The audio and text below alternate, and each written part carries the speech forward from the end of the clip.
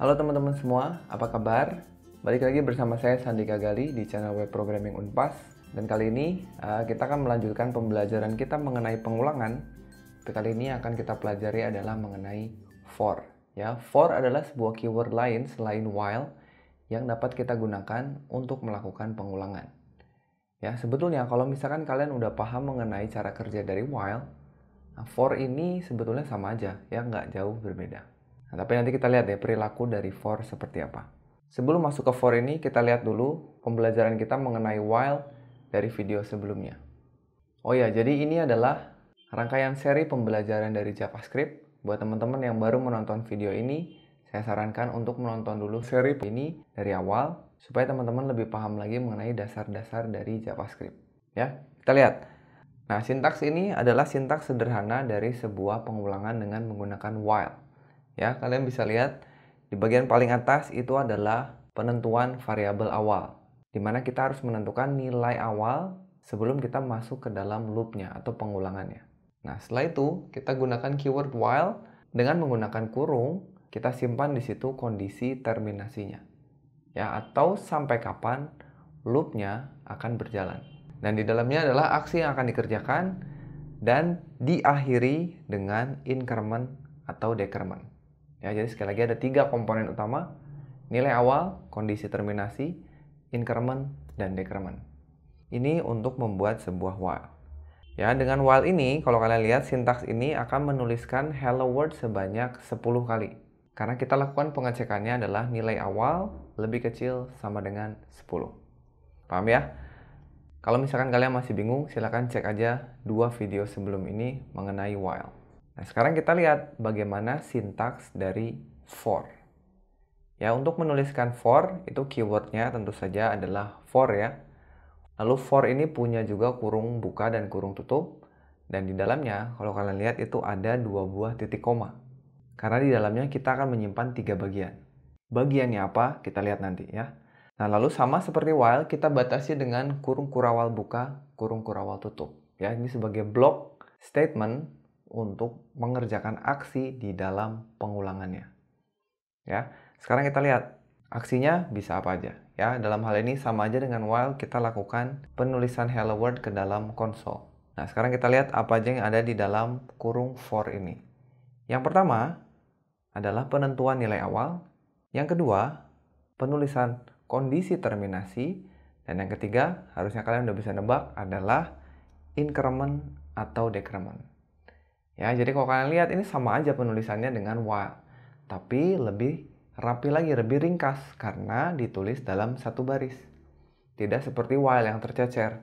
Yang satu ada di luar while, penentuan nilai awal. Lalu di dalam kurungnya, kondisi terminasinya, dan di akhir dari loopnya itu increment atau decrement. Nah, dengan menggunakan for, ini dalam satu baris semuanya ada. Paham ya? Jadi kita cukup menuliskan satu baris seperti ini ketiga kondisi tadi sudah dituliskan. Ya, jadi ini sebetulnya lebih ringkas. Ya, gimana kalau kita coba deh. Oke, ini source code kita. Di dalam scriptnya kita tuliskan file namanya for.js. Sekarang kita buat dulu for.js-nya. Kita klik kanan, bikin file baru for.js. Ya, dan di for.js ini kita lakukan hal yang sama dengan yang kita lakukan di while di video sebelumnya ya. Jadi saya tulis for, di dalamnya kita bikin nilai awalnya, nilai awal.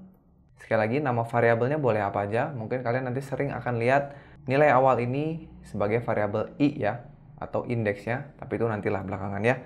Ini biar gampang dulu, nilai awal kita isi dengan satu. Lalu kita ingin mengulang penulisan hello world-nya sebanyak 10 kali, maka nilai awal lebih kecil sama dengan 10 Ya, coba nanti kalian cek kalau nggak pakai sama dengan, apa yang terjadi. Lalu terakhir, increment atau decrement. Nilai awal plus plus. Gitu ya. Lalu kita kasih kurung kurawal buka, kurung kurawal tutup sebagai blok dari pengulangannya. Kita tulis konsol titik log lalu hello world. Begini ya. Kita lihat kita jalankan index.html Nah, ya kalian bisa lihat bahwa hello world-nya tercetak sebanyak 10 kali. Kalau misalkan ingin dibedakan hello world satu kali, hello world dua kali, sama aja. Kita tinggal ganti. Kita tambahkan spasi di sini ya. Lalu kita gabungkan dengan nilai awal, digabungkan lagi dengan apa? X atau kali ya. Jadi ini hasilnya hello world satu kali, dua kali, tiga kali, empat kali. Paham ya? Jadi lebih ringkas lagi. Penggunaannya sama. Nilai awal, kondisi, increment atau decrement. Supaya lebih paham lagi, gimana kalau kita lanjutkan latihan kita? Ya, masih ingat aplikasi juragan angkot kita? Ya, jadi kita lanjutkan aplikasi ini. Sekarang saya tambahin kasusnya. Jadi kemarin kalau kalian masih ingat di angkot 1.js ya, masih punya filenya ya, angkot 1.js. Itu ceritanya kita punya 10 angkot yang aplikasinya itu menampilkan bahwa semua angkotnya itu berjalan dengan baik. Angkot 1 berjalan dengan baik, angkot 2 berjalan dengan baik, dan seterusnya sampai angkot ke 10. Nah sekarang di angkot 2 ceritanya ada empat angkot kalian yang rusak. Ya kalian bisa lihat angkot 1 sampai angkot 6 itu berjalan dengan baik, tapi angkot 7 sampai angkot 10 itu sekarang kondisinya sedang rusak. Nah jadi saya ingin kalian sekarang buat sebuah file namanya angkot2.js ya yang menampilkan hasilnya seperti ini. Lihat. Angkot 1 sampai 6 beroperasi dengan baik, sedangkan angkot 7 sampai 10 kalian tulis sedang tidak beroperasi. Paham nggak? Ya, tapi sekarang saya pengen nulisnya gini. Kita bagi menjadi dua blok. Angkot yang beroperasi dengan baik dan angkot yang sedang tidak beroperasi. Untuk angkot yang beroperasi dengan baik, kalian gunakan while. Untuk angkot yang tidak beroperasi, kalian gunakan for. Jadi nanti kalian punya dua blok pengulangan di dalam program kalian. Itu ya. Satu lagi, tambahannya adalah coba tambahkan satu buah variabel baru. Ya, jadi sekarang kalian punya satu buah variabel baru, yaitu angkot beroperasi. Nah, jadi nanti kalian bisa uh, mengetahui ada berapa angkot yang jalan, ada berapa angkot yang rusak. Ya, silakan digunakan ketiga variabel ini untuk menentukan kondisi terminasi dari tiap-tiap blok pengulangannya. Paham ya? Kalau sudah paham pertanyaannya, silakan pause videonya, kerjakan latihannya. Nanti kalau sudah selesai dikerjakan, lanjutkan lagi videonya. Kita akan kerjakan bareng-bareng latihan ini. Oke, silakan pause dulu videonya.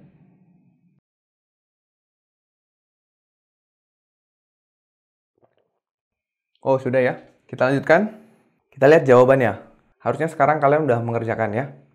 Nama file latihannya adalah apa tadi? Angkot 2 ya. Angkot 2.js. Kita bikin dulu filenya. Angkot 2.js. Apa tadi speknya? Angkot 1 sampai 6 beroperasi dengan baik dan itu menggunakan while. Angkot 7 sampai 10 sedang tidak beroperasi dan itu menggunakan for. Oke. Okay? Kita bikin variabel awalnya dulu. Jumlah angkot. Ada berapa angkot yang kita punya? 10. Betul ya? Lalu kita punya lagi angkot beroperasi yang jalan dengan normal ada 6. Nanti kalau misalkan angkotnya udah benar keluar dari bengkel, ini bisa kita perbaiki jadi berapa? 7, 8 gitu ya. Dan yang terakhir adalah nilai awal untuk menentukan nomor angkotnya berapa. Sudah ya? Selanjutnya kita buka blok pertama yaitu while untuk membuat angkot yang beroperasi dengan baik. Ini gimana nulisnya? Jadi selama nomor angkot itu lebih kecil dari berapa ini? Ada berapa angkot yang beroperasi? 1, 2, 3, 4, 5, 6 ya. Kalian bisa tulis 6 di sini. Tapi ingat, kita udah punya variabel angkot beroperasi. Kenapa nggak kita pakai aja? Kalian tulis di sini angkot beroperasi. Supaya apa? Supaya kalau misalkan yang beroperasinya nambah, ada yang sudah benar keluar dari bengkel, ini kita ganti jadi 8, misalnya, ini nggak perlu kalian ganti jadi 8. Paham ya? Selanjutnya, kita tulis pesannya konsol titik log angkot nomor gabung ya dengan apa nih nomor angkot gabung lagi dengan beroperasi dengan baik. Ya, seperti biasa kita wrap ya. tulisannya supaya turun ke bawah dan diakhiri dengan increment jangan lupa supaya nggak masuk ke infinite loop. Nomor angkot plus plus. Betul ya? Kita lihat dulu deh. Kita lihat hasilnya. Sudah tuh. Angkot 1 2 3 4 5 6 beroperasi dengan baik sekarang kita buat untuk yang for nya ya kita punya for di sini coba tulis apa kita butuh var lagi nggak nggak butuh ya kita bisa gunakan aja nomor angkot karena kita udah punya nomor angkot di atas. Nomor angkot diisi dengan isi apa? Kalian bisa isi aja 7 misalnya di sini. Karena kita mulai dari 7 kan. Sebetulnya ada cara lebih baik nih. Nanti kita lihat deh. Ya, lalu selanjutnya apa? Mulainya dari 7, lalu selama nomor angkot ini lebih kecil dari apa? 7, 8, 9, 10. 10 itu apa? Jumlah angkot ya. Selama nomor angkot lebih kecil sama dengan jumlah angkot, maka lakukan loopnya. Dan di akhir, kita tulis apa? Increment ya, nomor angkot plus plus. Lalu kita tulis console titik log apa nih? Angkot nomor nomor berapa? Nomor gabung dengan nomor angkot. Sekarang ini apa? Sedang tidak beroperasi. Ini. Kalau misalkan kalian masih bingung dengan for, silakan gunakan tabel penelusuran atau trace tabel. Kalian bisa lihat videonya sebelum video ini ya. Sudah? Setelah ini apa? Sudah mungkin ya, kita lihat, kita save dulu, kita kembali ke browser, refresh. Nah, lihat tuh. Sudah betul ya? 1, 2, 3, 4, 5, 6 beroperasi dengan baik. 7, 8, 9, 10 lagi rusak, sedang tidak beroperasi. Nah, tapi ini masih ada yang bisa kita perbaiki. Ini harusnya kalian nggak tulis angka 7. Ya, kenapa? Lihat nih. Kalau misalnya ceritanya angkotnya udah ada yang benar. Berarti kan sekarang yang beroperasinya nambah ya. Ya, nggak 6 lagi. Misalkan 2 keluar dari bengkel, berarti sekarang ada 8 angkot yang beroperasi. Kita lihat. Kalau saya refresh, 1, 2, 3, 4, 5, 6, 7, 8, beroperasi dengan baik, betul ya? Tapi lihat 7, 8 sedang tidak beroperasi alias rusak. Nah ini ngaco ya. Nah ini harus kalian ganti. Angka 7-nya jadi berapa? Jadi 9. Nah daripada kalian ganti-ganti dengan angka seperti itu, kalian bisa tulis aja. Angkot beroperasi. Ini berapa? 8 kan? Karena kita mau mulai dari satu angkot setelahnya, Tinggal tambahkan di sininya apa? Plus 1. Gitu. Jadi, berapapun angkot yang beroperasi, angkot setelahnya itu tidak beroperasi. Ya, jadi kalau saya kembalikan ke 6, nomor angkot akan diisi dengan angkot beroperasi berapa? 6 ditambah 1. Berarti for ini akan mulai dari 7. Ya, kita lihat saya refresh nah normal ya 1 sampai 6 jalan 7 sampai 10 rusak kalau saya ganti lagi jadi 8 angkot beroperasinya kita kembali ke sini saya refresh sudah tidak perlu diperbaiki lagi sampai 8 beroperasi dengan baik 9 10 rusak paham ya jadi itu cara kita menggunakan for kalau masih bingung, seperti biasa, tulis saja pertanyaannya di kolom komentar di bawah video ini. Jadi itu ya, mengenai for dan perbedaannya dengan while seperti apa. Ya, jadi silahkan kalian sebetulnya mau menggunakan while atau for, itu fungsinya sama aja.